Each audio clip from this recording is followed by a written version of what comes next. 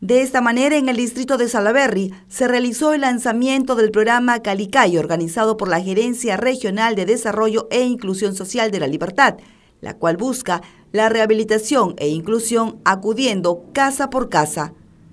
Esta campaña multisectorial brindó diversos servicios totalmente gratuitos como medicina general, nutrición, odontología, psicología, terapia y rehabilitación.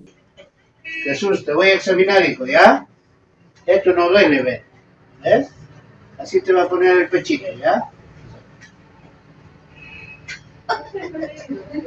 Supuestamente le hicieron una limpieza, ¿qué será? ¿Por qué no fue así nomás? No y al final de cuentas lo dejaron. El programa está dirigido para las personas con discapacidad severa del distrito.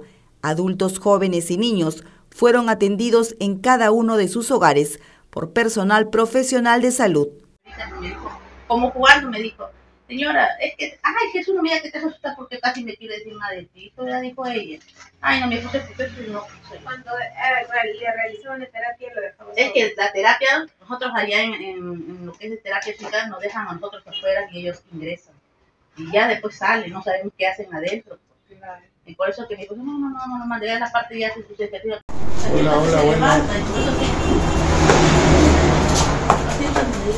Un mueblecito, un mueblecito. Adultos y niños con habilidades diferentes pudieron tener acceso a esta jornada gratuita, donde los integrantes de las diversas familias mostraron su satisfacción por estas rehabilitaciones necesarias.